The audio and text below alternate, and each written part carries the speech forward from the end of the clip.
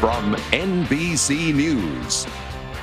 This is Today with Kathie Lee Gifford and Hoda Kotb. Grab your spouse, a friend, your mother, or your daughter because we're all about to tell you how you might be able to change your life in just 15 minutes a day. Yeah, it's called partnered prayer, and it's a daily habit for Squire Rushnell and his wife Louise DuArt, who write all about it in their new book. is called the 40 Day Prayer Challenge: Unlocking the Power of partnered prayer. And also with us, one of our favorite psychologists, Dale Atkins, who can tell us how prayer could be good for your health. So there's a spiritual and the health aspect Hi, to kids. this. Hi kids. Hello, there. everybody. You've been there. praying together for a long 16 time. years, 16 right? 16 Yeah. years. And guess what? You only have to do five minutes. I know, Five but minutes. I wondered if there's something I else think that Dale's going to. Uh, uh, No, yeah. just If the prayer five is minutes. just five. That was unfortunate. Five minutes for 40 days, and Okay. you'll have bliss Yeah. like so if we people have. were, are watching you right now and they wonder, well, it's how do we how do I do it? It sounds basic, but what do you guys do in yeah, the morning? how do you cross? You know, Yeah. a lot of times people look at it like, oh my gosh, it's the Golden Gate Bridge I have to cross. When Yeah. really it's just a footpath. And really, what you do is just you open your heart to each other and to God. It's frightening to many people, It is. though. It's, It it's a new world for them if they don't want to be that vulnerable, which we'll Right. get into. Yeah. So, what, what do you tell them?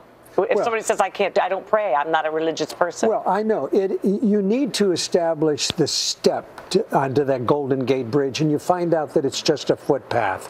And you need to establish a routine in your life. I bring my wife a cup of coffee and a bagel every morning, and isn't it wonderful? so you wonderful? bribe her, basically. Isn't it wonderful?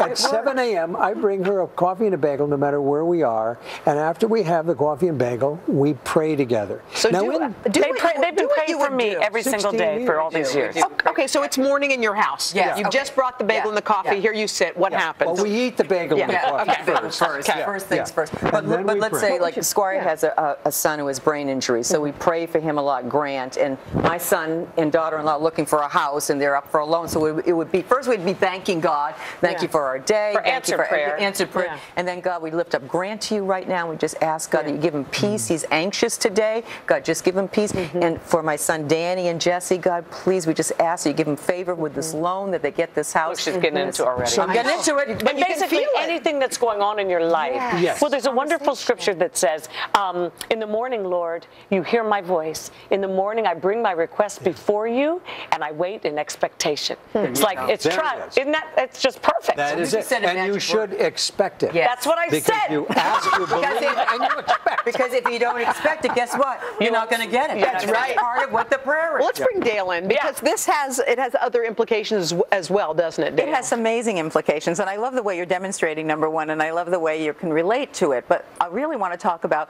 there are other implications that have to do with our health and well-being. Yeah. And when there is prayer and, and meditation, there is brain activity that changes. First of all, the cortex of the brain thickens, so that this is a preventive and really helps you to not get depressed.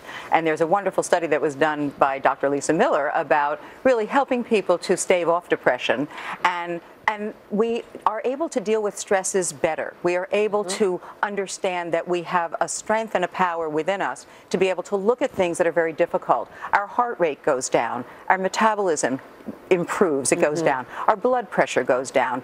People who have uh, elective heart surgery recover better. There are lots of Yeah, studies about the health stuff. benefits, but mostly people remain more calm and focused and Mm-hmm. able to feel in control of their lives in a way they didn't before. The great thing about it is you can be a part of this study. It's going to be alongside Baylor University. So this will be the first empirical uh, test, right? That's right. Five Yeah. minutes a day for 40 days. Okay. It is so easy. It doesn't cost you a thing. Just go to the Today Show a website and it'll tell you all there. about All right. it. Guys, thank, thank you you so so much. much. Thanks. Bless you all. Thanks, Dale. Thank you. Good to see you, Dale. Yeah.